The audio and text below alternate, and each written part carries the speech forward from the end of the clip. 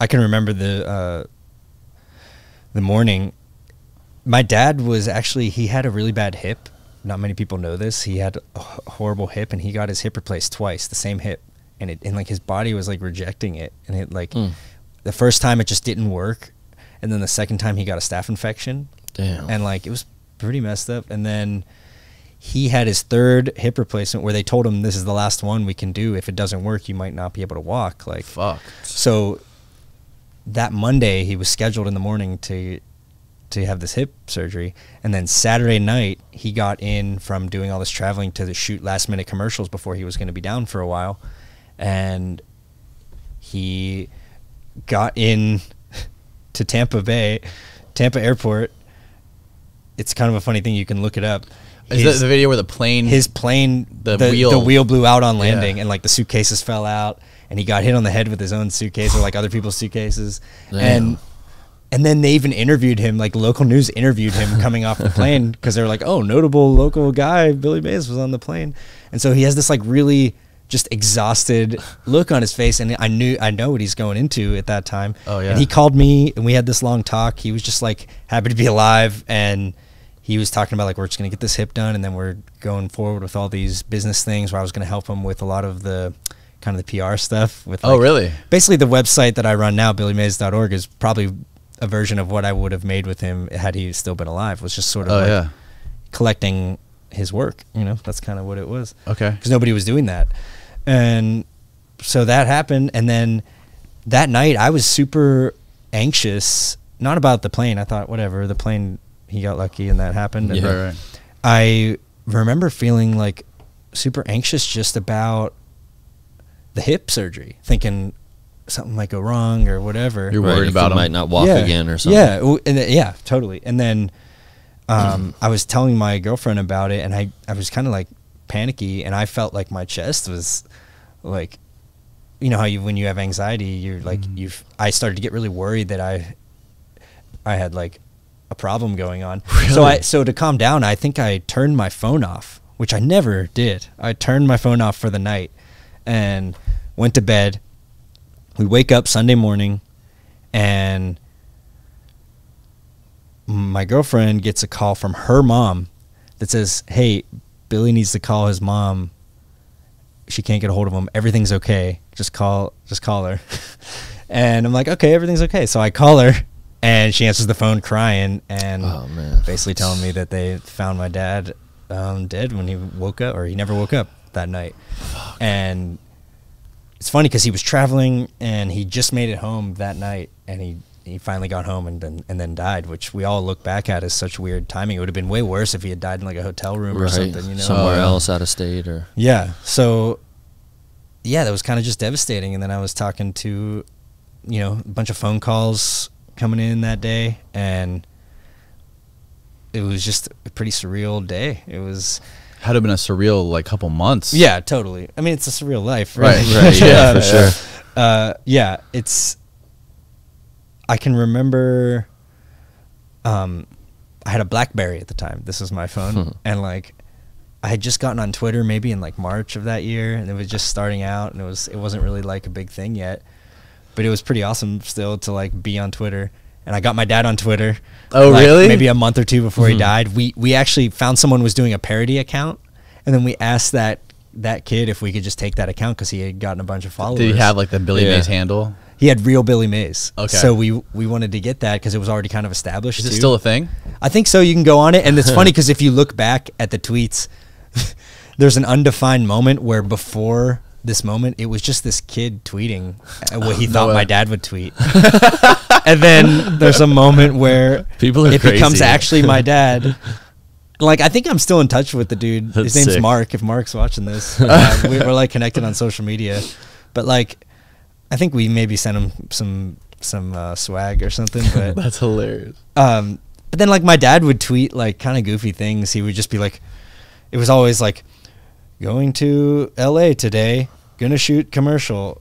Thank you to all my fans, like stuff like that. He was From a just- BlackBerry, it takes like 20 yeah, minutes totally. to type Yeah. one A- sentence. and he was a total boomer, like just in general about this kind of stuff. Tech wise, he would like he didn't he didn't type. He typed with fingers, you know. like, Yeah, just like pointer that. fingers. Yeah, and you know, it was amazing that he even was able to get emails from for his work stuff, and he didn't have an agent or anything. Like I think I think he had an agent that he worked some of the bigger deals with towards the end. Like he had the Discovery Channel deal and a few other bigger deals that finally just required an agent. Right. But like he was doing so many handshake deals with his Really? commercials. That's sick. That's hilarious, man. So anyway, the the BlackBerry thing is notable because I I actually tweeted within an hour of getting the news that my dad didn't wake up this morning because people were following me because of my dad mm. on Twitter and it was like a Right. Pitchmen thing. The I was on the Pitchmen show on Discovery Channel, so we had like this little fan base that was growing. Yeah. and I was just trying to be like you know the in between because my dad didn't really know how to interact uh, in a quick way, so I would just do that. So on Twitter, I posted that, and then I see it popping up on the news stations. I was the confirmation that my dad died, and really it wasn't Oh, confirmation because my I wasn't verified or anything. So they just started running with it, and they were using that tweet as verification. You'd see screenshots of my tweet on CNN and all this stuff.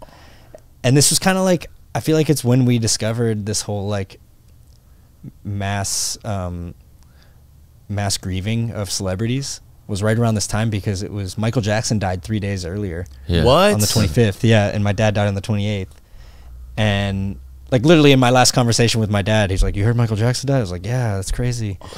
and then it became that, and then And then like news just like ran, like just blew it out, like blew it up. yeah, Ed McMahon, Farrah Fawcett, uh, Patrick Swayze. So they're That's- like tweeting you and stuff. Well, or- no, they were they were all dead. They were Oh, they were okay. celebrities that died that that summer. Oh, and so that's that's why later on there's a South Park episode called Dead Celebrities, and it was the season premiere of one of the seasons where my dad was heavily featured in it, but it He had all these celebrities in it, including sick. Michael Jackson. Their their ghosts Yeah. were like haunting Oh my! haunting the kids. That's so sick. It's it's amazing. And um, so anyway, I somehow my tweet made it to Alyssa Milano, who was a big tweeter at the time Okay. and she basically just said, "Hey, go give Infinite Third some love. He lost his dad today," and I and that was like a really nice thing. But I had notifications on, and it literally bricked my my BlackBerry for like six hours. I couldn't call anyone. I was at my dad's um, condo. We had finally made it there, but as that was happening. The way the notifications came in, it wasn't really blowing up. prepared for that many, and it was like I went from like a thousand followers to like fifteen thousand followers, and like Blackberry over a few hours. Yeah. So yeah, it, it like I it kind of like made me not able to tell more people like my family and stuff, which is Oh. funny. Um, but yeah, that's kind of a funny like that's how it like that's how it dispersed through the world was through my tweet. Yeah. And That's funny how stuff works. yeah. So It seems like you and your dad were really close. I did. yeah, we were super close. like yeah. super like personal and business. Seems like you helped him out with a lot of. I think that was where it was going. Like, yeah. I was just like filling the role of wow, nobody's really thinking about this stuff, and I'm here and I care about it, so I should do that. And he was super on board, and um, I I mean I did like travel with him. The last time I saw him actually was in L.A. Really? Um, the week he died, he went on the Tonight Show with with Conan O'Brien when Conan had a sto- short stint hosting the Tonight Show. I tried finding that. I couldn't find that interview. Damn. Um, it was him and Anthony Sullivan. They were Okay. promoting Pitchmen, and a couple times before that, he was on Jay Leno's Tonight Show I saw that one. and that was cool. But I told him, I don't, I don't care to go for that. But if if you ever get on Conan, you got to fly me out because I was like a huge Conan fan. yeah. and I still am. And the minute he got booked for Conan, he just called me and he's like, "Hey, I'm getting you a ticket. Like we're going." That's sick. So I went out to LA, had this great time, met Conan, hanging out backstage and stuff. Oh, that's and so cool. That night we were all celebrating that moment, and that was the last night that a lot of us saw him because then we all went our separate ways, and Yeah. he went and shot all these commercials, and so yeah, I, we were close. We he was a huge supporter of like me doing music and stuff. Mm, Was he really? Yeah. I, unfortunately, he never really got to hear my my good music, Mhm. Yeah. but he heard some of the stuff that I worked on in the years before that, Mhm. and he was he was just he was just like unconditionally supportive of it, you know.